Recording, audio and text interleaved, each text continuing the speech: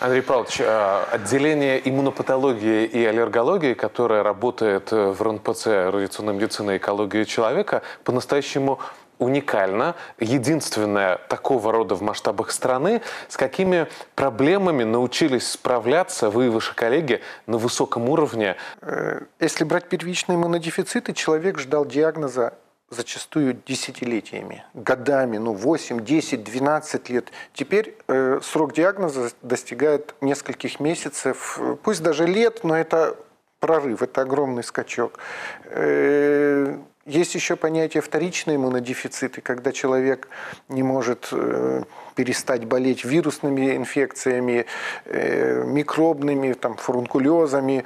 Э, у нас уникальный опыт ведения таких пациентов и хорошие наработки, вплоть до того, что на многие годы мы забываем, что такой пациент у нас был, пока он случайно не окажется в нашем поле зрения. Примерно, вот яркий пример. Пять лет назад я у вас лечил фурункулез.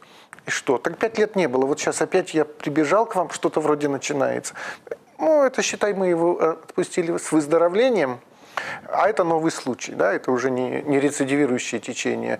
И таких случаев полно. То есть вот э, мы их называем иммунозависимые заболевания, когда мы видим, что иммунитет не дорабатывает, нужно ему помочь, э, а помочь это не подстегнуть, не вылечить, а эм, найти причину, которая мешает, вот, дать толчок в нужном направлении.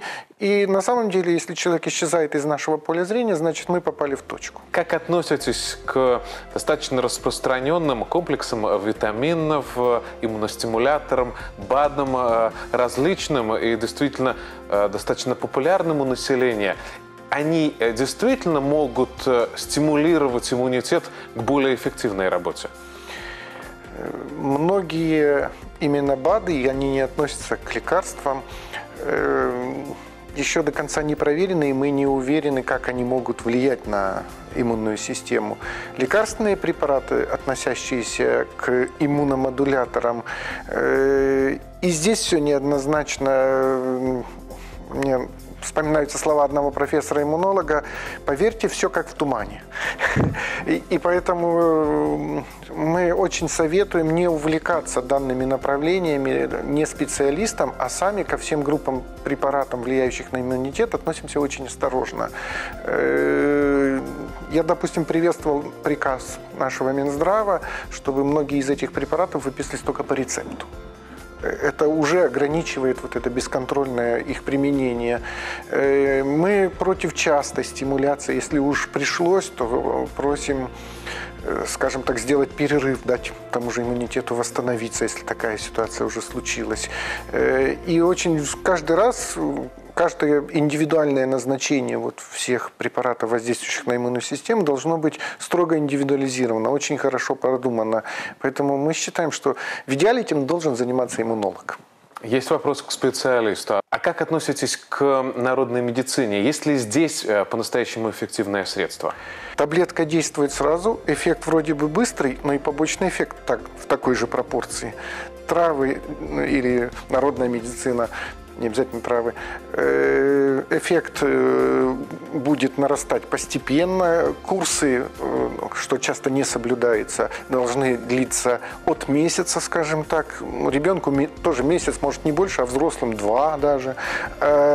И эффект будет, но побочный эффект разовьется намного в меньше как бы количестве случаев, а может быть, ты его и не прочувствуешь. Э, то есть вот и плюс огромной народной медицины. И от народной медицины к народным э, рассуждениям часто, наверное, сталкивались с э, распространенной фразой «все проблемы от стрессов».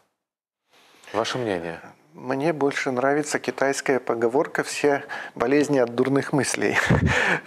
Но стресс – это, опять же,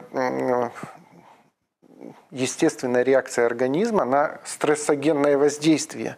То есть это наша физиология, и стресс может быть как полезным, так и вредным. Это зависит от его силы, мощности, э, продолжительности. Э, иммунная система, она не одна. Вообще специалисты называют иммунонейроэндокринная система. И гормоны, выделяемые во время стресса, мгновенно это чувствует иммунная система. Самый ярчайший пример, видимо, 20-го столетия. Во время Великой Отечественной войны не было эпидемии гриппа. Но человек все время находился в стрессе. Повод задуматься. Андрей Павлович, спасибо за эту порцию полезной информации. Успехов в делах и здоровья вам. Спасибо.